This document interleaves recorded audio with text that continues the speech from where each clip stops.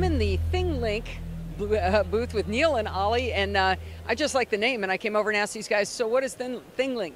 Well, ThingLink lets you make your images interactive. So if you're a blogger, now your images can be much more than just JPEGs. You can put in video, audio, Wikipedia entries, links to your social touchpoints like Twitter and Facebook, all inside the image. So the image becomes a platform for content, makes it much more interesting and engaging for people.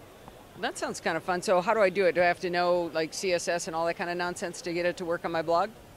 Uh, no, it's just a small snippet of code you put in the description bar uh, or, or, a plugin you download. okay, so if I use WordPress, it's just yeah. a plugin then? It's a plugin on WordPress. It depends a bit which plugin platform you use, but on WordPress it's a plugin, yes. Okay, well I only care about WordPress, but it's all about me. So um, maybe you could show us, Olli, a little bit. Uh, Steve will pan the video down here and show us what it, what it looks like. Yeah. So basically, you, we allow you to put these dots on top of your images or tags, and they can link to anywhere. In this case, it's links to where you can buy this this item from. Uh, but it's much more than that. It can also contain music. So this is a SoundCloud track, so you can listen to what the what the instrument sounds like. And here you, here's another tag. You can buy it. Um, then you can also put video inside. It looks like this.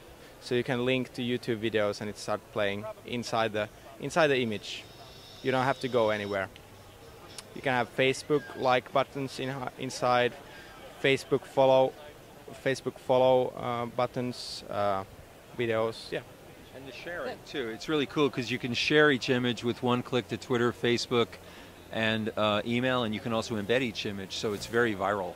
It looks like you, you should probably use these things in moderation, though. Like if I went to a site that had as much as you got popping up, that'd probably drive me out of my mind. But well, you know what's funny? We're in an environment where people are accustomed to multimedia happening at the same time. The great thing with ThingLink is you hover your mouse over the image and you have choice. You don't have to hit them all. You, you basically engage with the tags that you enjoy, the content that you're interested in. And I notice that before I hover over it, there's nothing, it looks like a regular image. So it's not like it's dancing on screen and annoying me unless I ask it to uh, give me more information. Well, that looks pretty cool. How, how much does Thing, ThingLink cost? ThingLink is free right now and, and it's always going to be free for people. We are going to in, introduce paid versions next year so that we can help pay the cost of the platform. But right now, we believe everyone should be able to engage with interactive images, and that's our, that's our position, and we're going to make those tools available to everybody. So, so to, if, you've ar- if you've already got it, it's not going to start costing you money, is it?